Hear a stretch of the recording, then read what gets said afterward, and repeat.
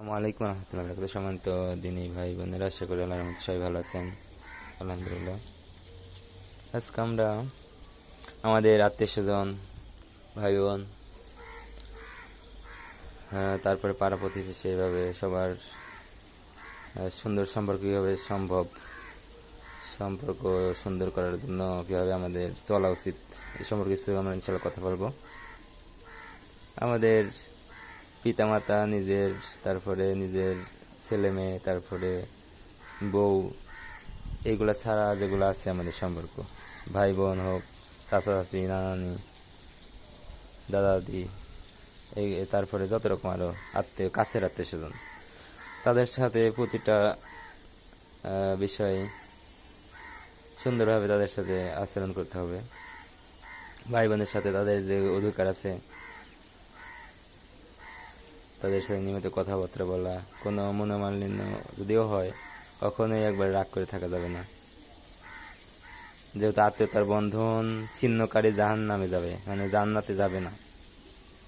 এই জন্য এটা মনে রাখতে হবে, আত্মীয়তার বন্ধন, এটা অনেক গুরুত্বপূর্ণ। কখনোই ছিন্ন করা যাবে না। সবার সাথে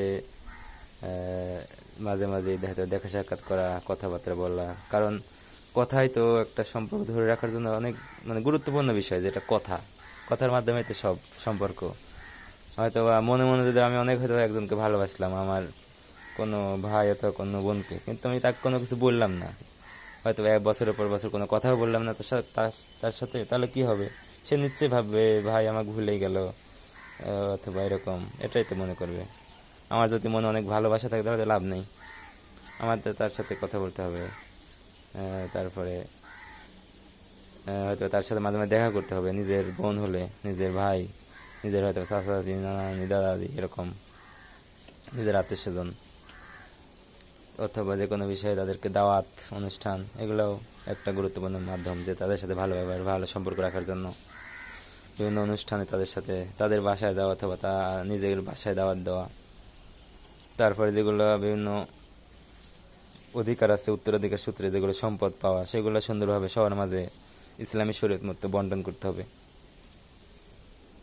তারপরে আরও যেগুলো প্রতিবেশী আছে, প্রতিবেশীদের সাথেও ওইভাবে সুন্দর ব্যবহার করতে হবে। কারণ ওই প্রতিবেশী মানে জানা যাবে না।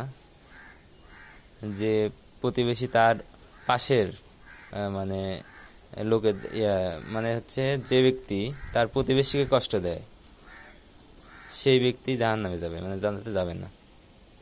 এই জন্য প্রতিবেশীকে ব্যাপারে খুব ইয়ে থাকতে হবে, সজাগ থাকতে হবে। কখনো যেন তারা কোনোভাবে কষ্ট যেহেতু প্রতিবেশীর সাথেই সবসময় হয়তো উঠা বসা, যেহেতু বাড়ির সাথেই বাড়ি উঠবা বসা সারা জীবন হয়তো করতে হয়। এবং অনেক সময় ঝগড়া, বিবাদ হইতে পারে। কিন্তু কোনোভাবেই কষ্ট দেওয়া যাবে না তাদেরকে। হয়তো বা নিজের অনেক আত- আত্মীয় আছে, তারা হয়তো অনেক দূরে আছে। কিন্তু প্রতিবেশী যারা, হয়তো সে কোনো আত্মীয় না আমাদের।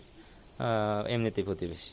কিন্তু তাদেরও অনেকে, যেহেতু এই বিষয়ে একটা হাদিস আছে যে যে ব্যক্তি প্রতিবেশীকে কষ্ট দিচ্ছে মানে হচ্ছে যে ব্যক্তির অত্যাচার থেকে প্রতিবেশী মুক্ত নয়, তাহলে ওই ব্যক্তি জাহান নামে যাচ্ছে মানে জান্নাতে যাবে না। এই জন্য এগুলো মনে রাখতে হবে। প্রতিবেশীর আর প্রতিবেশী যদি অভুক্ত থাকে কিন্তু সেই ব্যক্তি অথবা পেট পুড়ে খাইলো, তাহলে তো সেও তো প্রকৃত মুমিন নয়। এগুলো দেখতে হবে প্রতিবেশী খাওয়া দাওয়া তারপরে কেমন অবস্থা তাদের চলতেছে? শারীর- শারীরিক, মানসিক, তারপরে পারিবারিক কন্ডিশন যে কোনো দর, সাহায্য দরকার হলে সাহায্য করতে হবে। যে কোনো সান্ত্বনা দরকার হলে সান্ত্বনা দিতে হবে। তাদের সাথে মেনলি মাঝে মাঝে দেখা সাক্ষাৎ করতে হবে। মেনলি এগুলো করবে পরিবারের মানে পুরুষেরাই করবে। স্ত্রীদের তো পর্দা আছে। আর যারা ওই সব আশেপাশের আত্মীয় স্বজন মহিলা, তাদের সাথে না স্ত্রীরা দেখা করতে পারল। আর মাহারাম তাদের সাথে। কিন্তু সকল দায়িত্ব সব পুরুষরাই করবে।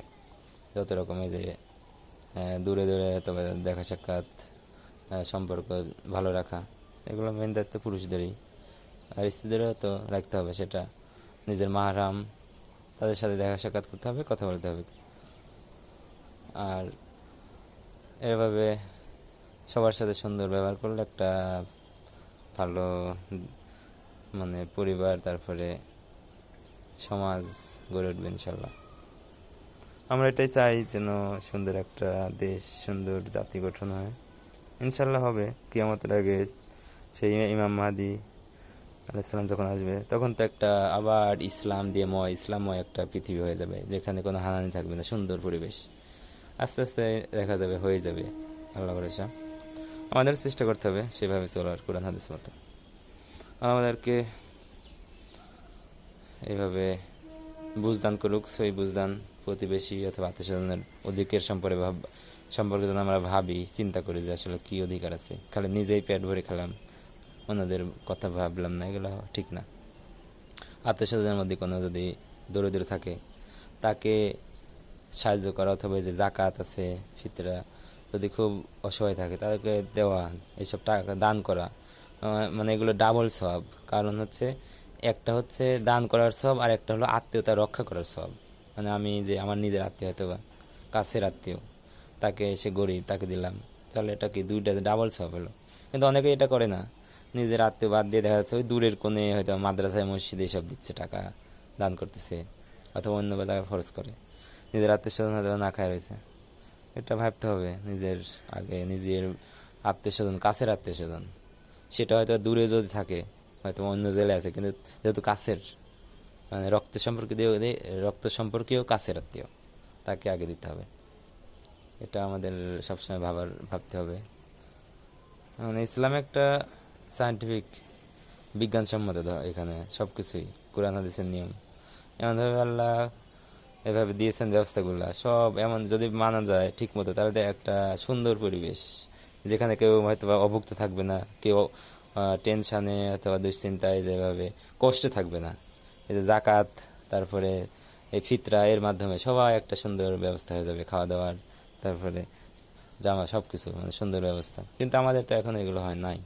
হয়তো অনেক টাকার মানুষ জাকাত দিচ্ছে না ঠিক মতো এই জন্য হয়তো আত্মীয় স্বজন তাদেরও হয়তো ঠিক মতো দেখে না।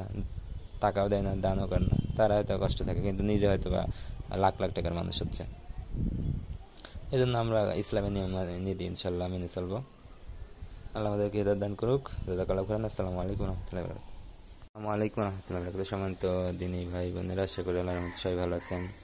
আলহামদুলিল্লাহ।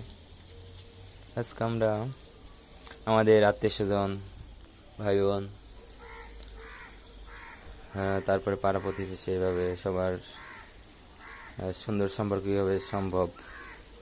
সম্পর্ক সুন্দর করার জন্য কীভাবে আমাদের চলা উচিত? এই সম্পর্কে কিছু আমরা ইনশাল্লাহ কথা বলব। আমাদের পিতামাতা, নিজের, তারপরে নিজের ছেলে মেয়ে তারপরে বউ এইগুলা ছাড়া যেগুলো আছে আমাদের সম্পর্ক। ভাই বোন হোক চাচা চাচি নানানি দাদা দাদি এই, তারপরে যত রকম আরও আত্মীয়, কাছের আত্মীয় স্বজন তাদের সাথে প্রতিটা বিষয়ে সুন্দরভাবে তাদের সাথে আচরণ করতে হবে।